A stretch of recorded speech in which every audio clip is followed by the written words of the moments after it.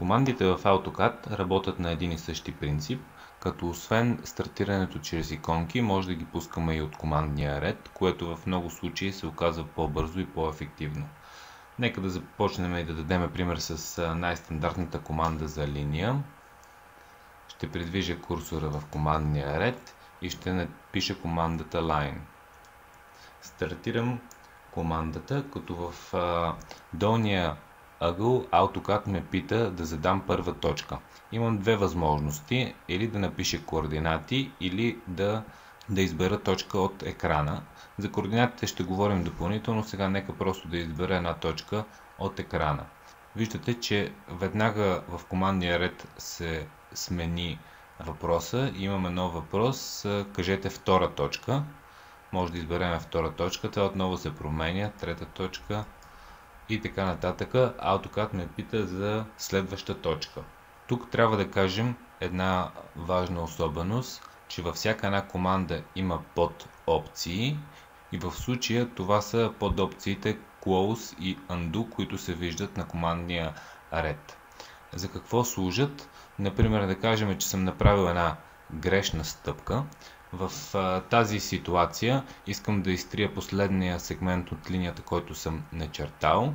А, тук съм виждал дори хора с 5-10 години стаж в AutoCAD просто да изтриват всичко, което са начертали и наново да го чертаят. Това естествено е доста трудоемко. Ако знаем този прост принцип за подопциите, виждаме, че има подопция Undo. Тя се стартира като или като напиша undo цялото или забелязвате, че undo е написано с главно U, само U като напиша, то разбира, че искам да стартирам тази опция, натискам Enter и последния сегмент се връща и мога да продължа да чертая така както искам аз да се начертае. Естествено, това работи за колкото стъпки назад искате. Да кажем, ако пиша просто U и натискам Enter, се връщаме назад колкото пъти искаме и можем да изберем след това някоя от другите опции, ако решим. Например с C ще затворим линията. Нека отново напиша командата line и да стартирам. Ако искаме да прекъснем с бутона интервал, прекъсваме командата. Същия ефект се получава и с бутона Escape. Може да ползвате, което от двете ви е по-удобно. Всички команди в AutoCAD работят на този принцип, само трябва да се оглеждате за подопциите и възможностите, които се изпитват в командния ред, за да знаете какво очаква AutoCAD от вас да направите.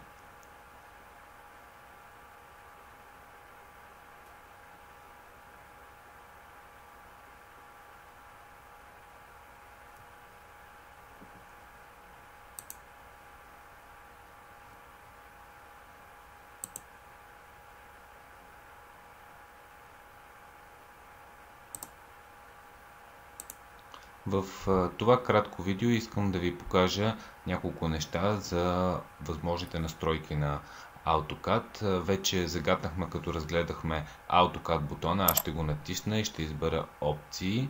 За опциите, които може да се настройват в AutoCAD има няколко особености, които трябва да се знаят. Например, виждате тази иконка когато има такава иконка пред някоя опция, означава, че тази настройка е само за чертежа, който сте отворили.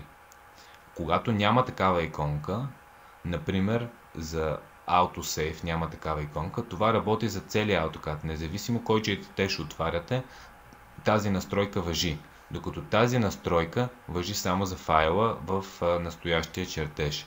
Когато натискате в различните раздели ще виждате къде има тази иконка. Трябва да се внимава, защото когато натиснете една такава опция и работи една настройка на един файл, на следващия файл, ако искате да работи същата настройка, там също трябва да се натисне.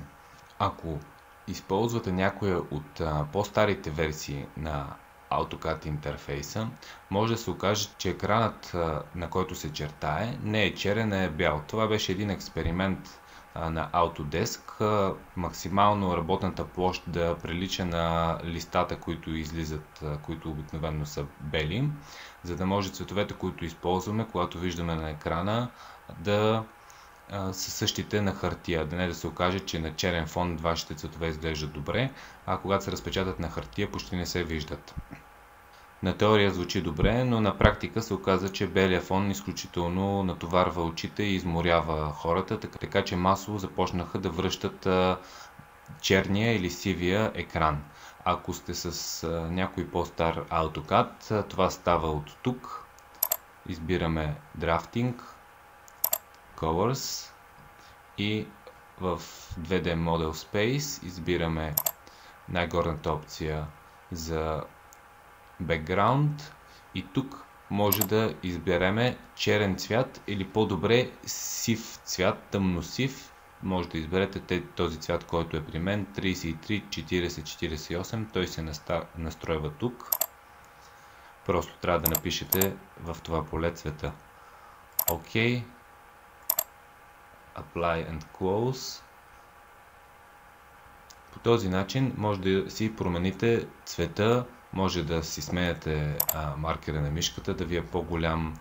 Има и други настройки, които не са толкова критични, но има и настройки, които са много важни за работата на AutoCAD. Например, ако работите в екип, може да се възползвате от раздела Files, тук може да се настроят основните настройки на AutoCAD да бъдат взимани от един сървър. Например, когато повече от един човек работи в екип 5-6 човека, има сървър в офиса, палетите с инструментите да са еднакви, настройките за принтерите да са еднакви, темплейтите, за които допълнително ще говорим, да са еднакви, всички да взимат от едно и също място. Това се настройва от тук, например, Tool Palette File Locations. Ако промениме това да бъде някъде на сървъра, палетите на всички ще бъдат еднакви. Принтери се настройва от тук. Тези а, две настройки слагате ги на сървъра, настройвате тук пътя да е към сървъра и всички в офиса ще имат едни и същи настройки, също под стиловете. Всички тези неща как се настройват ще ги говорим допълнително в модула за плотиране. Но ви загатвам идея, че ако работите няколко човека в един офис, може да се окаже много удобно да ползвате едни и същи настройки. Една друга важна отметка, която трябва задължително да е настроена, това е в раздела Open and Save да имате автоматичен сейв на 5 или на 10 минути може да си го настроите, така че AutoCAD да записва копия на вашия чертеж и ако има проблем с програмата, например програмата гръмне или има токов удар, да не си загубите работата, която до сега сте правили, винаги проверявайте дали това е включен, дали е включена тази отметка. Тук се настройва в какъв формат да се записват файловете, които правите. Много груба грешка е да се слага по-ниска версия на формат. Примерно, вие работите на версия 2010 или по-горна и ви се е случило да изпратите файл на колега, който няма тази версия и трябва да му запишете на по-ниска версия файла, за да може той да го отвори. А, има хора, които просто за да не се получава този проблем, от тук а, си а, свалят версията и автоматично AutoCAD записва всичките файлове в по-ниска версия. Привидно това изглежда добро решение, но всъщност е лошо решение и има друг по-интелигентен начин за решение на този проблем. Винаги ползваме най-горната версия на DVG формата, защото в по-новите версии този формат е изключително добре оптимизиран. Файловете са по-малки, по-бързи и много по-добре се работят. Също така в новите версии има нови функции, които са предвидени в тези формати и може да се окаже, че при записване в по-ниска версия някой блок се разваля или някаква параметричност, ако чертаете с параметрични чертежи, се разваля. За да избегнете тези проблеми и за да работите с бързи и малки файлове като размер, винаги използвайте 2010. А допълнително ще покажем как се изпращат файлове много бързо и лесно в по-низки версии, когато трябва да ги пращаме на други хора и не знаем дали те имат по-нова версия или не. Друга отметка, която а, трябва да виждате винаги в раздела Display е тази отметка Display Layout and Model Tabs, за която говорихме, за да се виждат ето тези тапчета. Ако имате проблем с включването по начин по който ги казах, това е друг начин за да се включват. Това, което може да настроите също така е в този раздел. Ако знаете, че повечето чертежи, които работите са в милиметри или сантиметри, да ги изберете. Всъщност, почти сигурно е, че не са в инчове, ако работите в България. Нека да изберем, например, сантиметри. Ако работите детайли, които са често в милиметри, или вашата работа изисква милиметри, просто изберете милиметри в тези настройки. Това е за сега, което исках да ви кажа за опциите. Допълнително при проблеми, въпроси ще се връщаме в тези настройки, за да говорим как те най-добре да бъдат нагласени.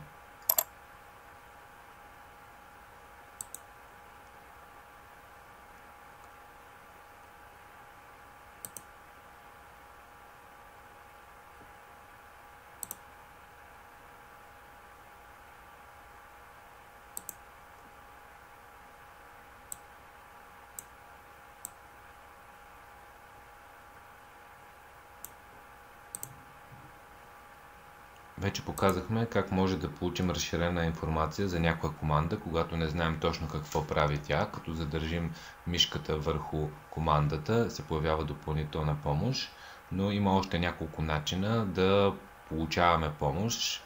Пак казвам, за съжаление всичко е на английски, но все пак дори хората, които не знаят добре английски, може да се ориентират по схеми.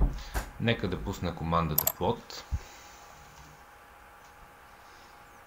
Когато сме в някоя активна команда, сега няма да говорим за, за котиране, просто показвам, че сме в една активна команда и когато натисна клавиша F1 в нея, ще ми излезе, придърпам се да го виждате, ще ми излезе директно помощ за плотиране и допълнителна информация как се настройва това плотиране. Затваряме. Ако има някоя настройка, тук може да решим, примерно не знаем какво е plot in background и задържим мишката отново, се вижда допълнителна информация за тази настройка. По аналогичен начин, нека да затворя командата, когато пуснем една команда, да кажем командата за линия и когато сме в командата, ако отново натиснем F1, ще се получи помощ за тази команда. Така винаги, докато сме в активна команда и се чудим, вместо да излизаме от командата, да търсим в хелпа, може директно от командата да влизаме. Ще натисна Escape, за да прекратя командата. Ако сме в AutoCAD без да сме избрали каквото и да било и натиснем F1, се появява общата команда, където може да се търси допълнителна помощ и информация. За съжаление, няма планове Autodesk да преведат поне частично хелпа или менютата на AutoCAD на български. Говорил съм си с вносителите на програмата, но въобще такива планове не се задават в бъдеще.